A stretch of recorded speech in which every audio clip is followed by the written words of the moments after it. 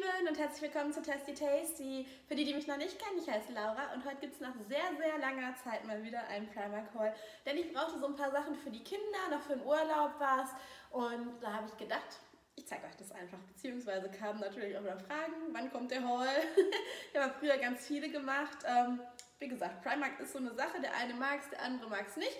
Ich äh, finde, es passt ganz gut hier zu Weight Watchers, denn Primark hat ich glaube, bis Größe 48 Sachen, also wirklich ziemlich große Größen, was man zum Beispiel bei H&M ja dann nur so eine extra Abteilung findet. Bei Primark findet ihr einfach dann alles in dieser Größe und das finde ich echt ganz cool und äh, ich habe mir gedacht, deswegen zeige ich euch das Ganze auch. Ich habe aber auch so ein bisschen Home dabei und äh, ja, ich würde sagen, wir starten einfach mal und zwar mit dieser Tüte. Und hier habe ich zwei so richtig coole Kissen gefunden. Guckt euch die mal an. Mega, mega schön fand ich die mit diesen grafischen Mustern, mit so einem Rosé und die waren auch noch reduziert. Und zwar hat jedes davon 3 Euro nur gekostet, von 8 auf 3 Euro. Und ich fand die total schön. Und wenn ich mich daran satt gesehen habe, kann ich die immer noch als Innenkissen benutzen. Ihr wisst, was ich meine, ne?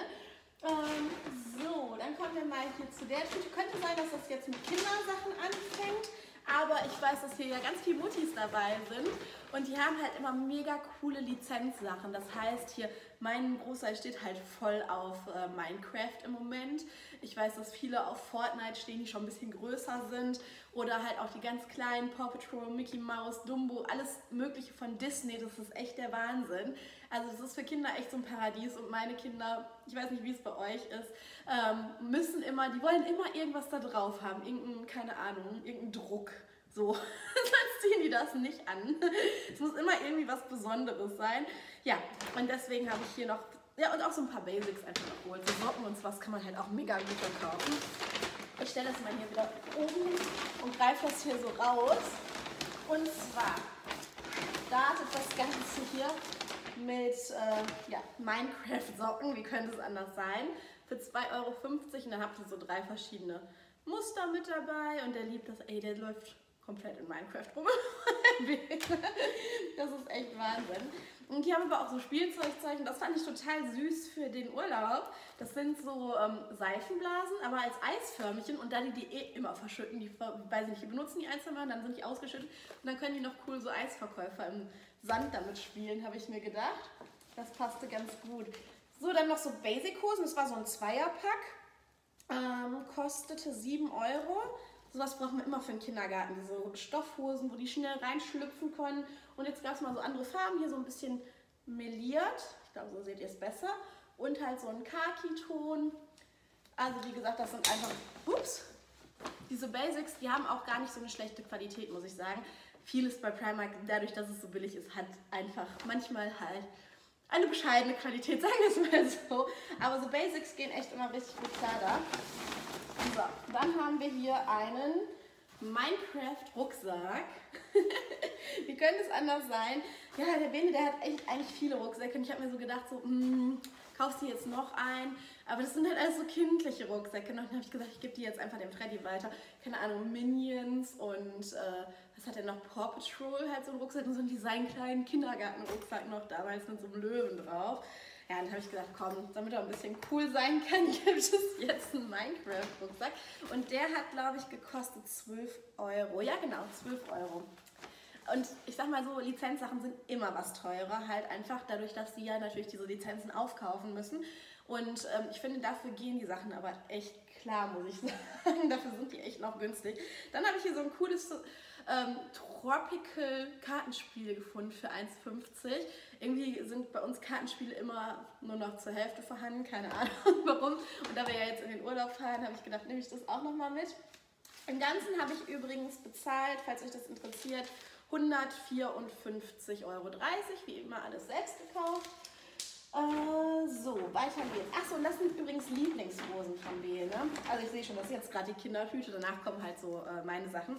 Und zwar hat der Bene halt echt, also der hat so keinen Po, wisst ihr, was ich meine? Den rutschen die Hosen immer, aber er hasst Gürtel einfach zu tragen. Und die sind echt ideal. Und zwar sind es so Jeanshosen. Die sind auch relativ robust für Primark-Hosen. Ähm, und kosten 10 Euro. Und die haben hier oben so ein Bündchen mit, äh, ja, so, ein, so einer Kordel und man kann die halt wirklich fest zurren. Also der mag die total, der sagt selber auch, Mama, hol mir die Hosen bitte.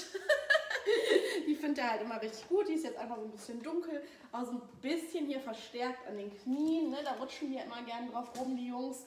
Und dieselbe habe ich dann nochmal in Grau mitgenommen, damit man so ein bisschen was anderes hat. Ist halt auch nicht so eine Skinny Jeans, das mag der zum Beispiel gar nicht. Äh, der braucht immer Luft, weil er immer sehr viel am äh, Rumrabaruken ist, nennen wir es mal so. Genau, das ist dann diese graue Hose dazu. Auch mit so einem Bündchen oben dran. Also die haben wir irgendwie in massiger Ausführung. so, nochmal so ein paar Basics und zwar Socken für einen Freddy, die brauchen wir ja immer. Ich bin ja immer Verfechter von, äh, eigentlich sollen die Hausschuhe im Kindergarten tragen, aber ich finde es immer für die Füße eigentlich besser, Socken zu tragen und vor allem also ich laufe selber gern einfach barfuß rum oder mit Socken oder so und habe nicht den ganzen Tag Schuhe an. Deswegen immer so ein bisschen dickere Socken. Ich weiß gar nicht, ob ihr das gut sehen könnt. Hier sind zum Beispiel so Sternchen drauf, hier sind äh, so Streifen und Pünktchen drauf. Dadurch sind die natürlich immer schnell durch, sage ich mal. Ne? Aber ich habe auch Hausschuhe mitgenommen. Mal jetzt für die, äh, ich weiß nicht, wo die sind, zeige ich euch gleich für die Sommerzeit, weil er halt oft dann mit Sandalen geht und dann brauchst du nicht nochmal extra Socken wieder mitnehmen. Und hat er ein paar Hausschuhe auch da. Ja, es geht weiter mit Minecraft, Leute. Und das war halt so cool. Das habe ich ihm noch gar nicht gezeigt. Da freut er sich richtig drüber.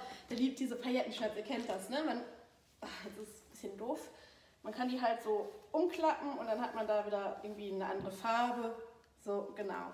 Dann steht da halt Minecraft drauf und ist dieses Fragt mich nicht, wie sie heißen. Er hat mir, glaube ich, schon hunderttausend Mal gesagt, Creeper, Creeper oder irgendwie sowas. Ähm, genau. Und das ist halt einfach mit da drauf gedruckt. Das hat gekostet 9 Euro, das T-Shirt. Wie gesagt, Lizenzsachen ein bisschen teuer. Ich habe euch gar nicht gesagt, was die Socken gekostet haben. 3 Euro. Sind auch drei Paar, aber wirklich so richtig dicke, stabile Qualität. Achso, und hier ist der Eisförmchen. Also der ist eigentlich für echtes Eis zu machen, aber ich fand das so süß, so für den Sand oder so damit zu spielen und passt halt gut zu diesen Eisdingern, kostet jetzt 2 Euro.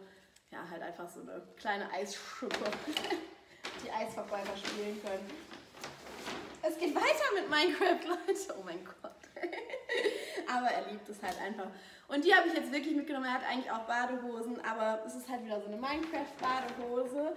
Und zwar fangen die halt in der zweiten Klasse wohl mit Schwimmunterricht an, wie ich gehört habe. Ja, und dann ist das natürlich was Besonderes, dass er sich so ein bisschen drauf freuen kann, hat er halt doch mal so eine coole Badehose dann. Ne? Es ist sehr grün hier. Aber wer Mutti ist, ich glaube, äh, der kann uns verstehen. So, in der Tüte habe ich jetzt hier noch, und das fand ich wunderschön. Erst habe ich überlegt, nimmst du das mit? Und zwar ist das aus der Love Lounge Abteilung. Das ist also eigentlich Schlafanzug, aber ganz ehrlich, das sieht einfach nicht aus wie ein Schlafanzug. Ich hatte da schon mal eine Hose, die habe ich immer so als Sommerhose angezogen. Guckt euch das mal bitte an, wie hübsch die ist. Die ist so wunderschön, finde ich. Und die musste einfach mit. Genau, so ein bisschen halt weiter geschnitten unten. Ich würde sagen drei Viertel. Also wie gesagt, eigentlich eine Schlafanzughose, aber ich denke, ich werde sie so anziehen. Ich muss mal gucken, wie ich das so machen werde, weil ich einfach also die musste mit, die war einfach so, so schön. Die war jetzt bei 10 Euro, glaube ich. Muss ich mal eben gucken. Steht gar nichts dran. Da. Genau, 10 Euro. Und ich glaube, ich habe auch noch das passende Oberteil dazu mitgenommen. Ich glaube, die Hose hatte ich euch auch nicht gesagt, was die... Die hat jetzt, oh, 11 Euro. Das finde ich jetzt irgendwie ein bisschen teuer für eine Badehose. Aber nein. Was heißt teuer ist es jetzt auch nicht, aber für Primark, ihr wisst, was ich meine. Ne? Da erwartet man immer so mega Schnäppchen. So, dann machen wir mal hier weiter mit einem Kleid und das habe ich mich richtig gefreut, weil die waren alle äh, schon runtergesetzt. Und äh, das stand noch gar nicht drauf und das steht jetzt leider hier auch nicht drauf. Ich kann euch das so ein bisschen aus dem Kopf sagen oder mal drauf gucken. Vielleicht steht es hier auch auf dem Bon. Äh, weil da sagt die Kassiererin, wissen Sie, dass es schon runtergesetzt ist? Nein, ich glaube bei allen Sachen, jetzt kommen, waren die schon runtergesetzt. Ähm, also müsst ihr mal gucken, wenn ihr so Maxi-Kleider liebt oder so Hosenanzüge. Wie gesagt, auch die haben die alle bis Größe 48 und äh, das sind natürlich auch die Größen, die oft überbleiben, ne? oder halt kleine Größen. So, ich zeige euch das mal. So, das ist so ein bisschen off-shoulder, also das könnt ihr so über die Schulter halt ziehen. Dann sind auch noch so ein bisschen die Ärmchen verdeckt. Und dann ist es aber, hier unten habt ihr noch so eine kleine Hose drin. Wisst ihr, was ich meine? Hier so eine kleine Shorts. Und dann ist das wie so ein Maxi-Kleid, aber halt nur hinten und das ist so leicht verdeckt. Also gucken so ein Schlitz, würde ich sagen, die Beine raus. Fand ich ganz cool. Bin mal gespannt, wie das so aussieht. Ich habe es noch gar nicht angezogen. Das hätte eigentlich 20 Euro gekostet. Ich meine, das war auf 10 Euro runtergesetzt, wenn ich mich jetzt nicht irre. Aber keine Ahnung, hier sind so viele Sachen drauf. Oh mein Gott. Ähm, ja, keine Ahnung, ich weiß es echt nicht. Da stehen so nur so komische Nummern und Buchstaben drauf. Ich kann es euch jetzt echt nicht sagen, aber wie gesagt, es war sehr günstig. Und dann hat mich mein Mann ausgelacht, Leute. Denn wir gucken gerade Riverdale. Kennt ihr die Serie? Die ist mega. Und ich habe es mir jetzt nicht wegen Riverdale gekauft, aber ich wollte eh noch so ein rockiges Shirt, so ein bisschen, was man einfach in die Jeanshose so stecken kann. So ein bisschen übergroß. Ja, und das sind halt die Southside Serpents. Das ist diese Rocker-Gang von Riverdale. Nicht, dass ich jetzt hier absolutes Fangirl wäre, wobei ich die Serie schon sehr feiere. Aber ich fand es irgendwie ganz cool mit dem Aufdruck und es ist halt so mega weit, einfach und lässig. Und das hat 8 Euro gekostet, also echt nicht so die Welt. Genau. Dann habe ich so einen coolen Hosenanzug gefunden. Oh, Moment, oh, das hasse ich halt, wenn die Bügel da dran lassen. Ich nehme die eigentlich nie mit, aber ich habe nicht drauf geachtet diesmal, keine Ahnung warum. So, und so sieht der aus. Also so ein bisschen 90er-Style, finde ich, so mit diesem ähm, Jute und diesen dicken Knöpfen ist im Moment gar ganz viel. Äh, so ein bisschen gestreift, schwarz-weiß, ich weiß nicht, wie das so bei euch rüberkommt. Und dann habt ihr so ein weites Bein, aber auch wieder so drei Viertel, würde ich sagen, so Culotte heißt es, glaube ich. Und habt hier so einen süßen, ja, so einen Jute-Gürtel mit da dran. Und auch der war runtergesetzt, aber ich, wie gesagt, ich kann es euch echt nicht sagen. Also er hat 17 Euro gekostet, ich meine, es waren dann auch nur noch 10 oder so. Also ihr könnt da im Moment wirklich richtig Schnäppchen machen. Überall ist reduziert. Und natürlich gehen im Moment bei so einem schönen Wetter auch wenig Leute einkaufen. Ich glaube, das ist auch einer der Gründe.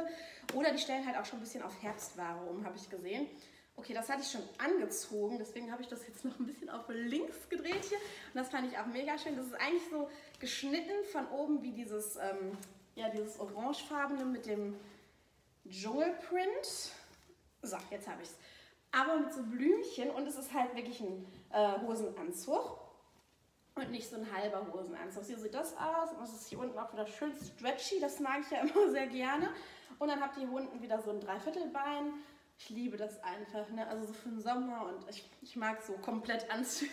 Das ist immer ein bisschen doof, wenn man auf Klo muss dann, ne? sich einfach komplett ausziehen, aber ähm, auch der hat 17 Euro eigentlich gekostet. Ich meine, der lag auch dann bei 10, 12 Euro oder so. Ja, mega, mega schön. Halt so ein richtiges Sommeroutfit. Und dann habe ich mitgenommen hier, genau, das sind diese Schuhe, die fand ich ganz niedlich. Wie gesagt, jetzt einfach um ein paar da zu haben, wenn er halt Sandalen anhat so kleine Drachen sind das, voll süß. die haben 6 Euro gekostet und ich fand die einfach total putzig. Hier die Augen, die kann man dann so als Klettverschluss aufmachen. Und dann ist da noch so ein kleiner Drachen, so eine kleine Drachenfrisur drin. Ich glaube, das mag der. Freddy liebt alles, was Monster sind. Upsala, ich häng fest. ja, Kindersachen haben hier einfach wahnsinnig viele. Achso, dann wollte ich noch mal gucken. Ich weiß gar nicht, aber die sahen mir sehr punktefreundlich aus. Und zwar sind das Hippies.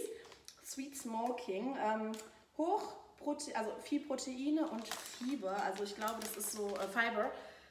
Äh, Ballaststoffe müssen das, glaube ich, sein, wenn ich mich jetzt nicht irre. so sehen die aus. Die haben immer so ganz coole Sachen vorne an der Kasse. Da habe ich auch zum Beispiel diese Kokoschips schon mal mitgenommen. Die habe ich leider schon gegessen, die waren auch noch mit dabei. ähm, genau. Also ich vermute, dass die relativ punktefreundlich sind. Ich weiß es nicht, also so eine Art Flips eigentlich. Muss ich mal gucken, aber ich denke schon. Sah auf jeden Fall so aus. also nochmal ein paar Socken für Bene und zwar diesmal Pikachu hier, dieses Pokémon, ne, kennt ihr glaube ich. Auch drei verschiedene Drucke wieder, beziehungsweise Drucke sind es ja nicht so, der Stoff ist einfach so. Ähm, die haben 3 Euro gekostet und hier ist auch dieses Oberteil dazu, zu dem äh, zu dieser schönen Hose. Ich bin mir noch nicht sicher, ob ich das Oberteil behalte oder. Also ich habe es noch nicht angezogen, ich muss mal gucken. Also im Ganzen werde ich es natürlich draußen nicht tragen oder ob ich es dann doch als Schlafanzug mit dem Dings hier, mit dem äh, Top trage, weil die Hose ist ja dann auch eher so für den Sommer. Ich muss mal gucken. Aber wie schön ist das bitte? Ich finde diesen Druck total schön. Dann dieses, oh, das erinnert mich so an früher, so Häkeldeckchen, keine Ahnung, voll süß einfach. Und das hat, glaube ich, nochmal 8 Euro gekostet. Ne, 7 Euro sogar. Also habt ihr dieses ganze Set im Prinzip für 17 Euro. Weil sind hier noch ein paar Sachen drin. Und zwar einmal fand ich die so süß, so Küchenhandtücher. Guckt mal, mit so kleinen Daisy, so ähm, Gänseblümchen drauf. Und dann waren halt noch andere, weil sind so Mikrofasertücher, ganz normale, grün. und äh, so Dreiecke, aber ich habe es halt wirklich wegen dem hier mitgenommen. Das sieht so niedlich aus, finde ich. Richtig, richtig süß. Und da habt ihr wirklich vier so Lappen und auch wirklich große, also es sind jetzt nicht kleine. Ähm, 4 Euro, also im Prinzip 1 Euro pro Putzlappen. So, jetzt haben wir hier noch mal Socken, sehe ich gerade. Ich weiß gar nicht, warum ich so viele Socken mitgenommen habe, aber irgendwie verschwinden die bei euch auch immer. Also, wir haben immer nur einzelne Socken. Ich verstehe das nicht. Irgendwie frisst die Waschmaschine die. Äh, so, wo auch immer ich stehen geblieben bin, irgendwie kam gerade ein Anruf rein. Also Socken auf jeden Fall. Und zwar fünf Paar für 3 Euro mit so kleinen Buchstaben drauf und einfach so ein bisschen bunte Socken. Wie gesagt, Socken brauchen wir immer. so, als letztes Teil habe ich dann hier noch so eine ähm, Radlerhose mitgenommen. Und zwar wirklich so eine ganz kurze in schwarz. Die habe ich ja wirklich in allen Längen und allen Farben. Ich liebe die einfach, wenn man die äh, unter einem Kleid oder so. Ich mag das nicht so, wenn man so kurz Kleider hat und dann gucken die ganzen Beine und so raus. Oder du bückst dich und nachher guckt noch dein ganzer Hintern raus oder so. Ist halt mit Kindern ist man immer so ziemlich viel in Action. Ähm, und deswegen habe ich immer gern, ziehe ich sowas gern drunter einfach, damit das äh, wirklich so verdeckt ist, alles schön. Und die kostet jetzt als kurze Hose sogar nur 2,50 Euro.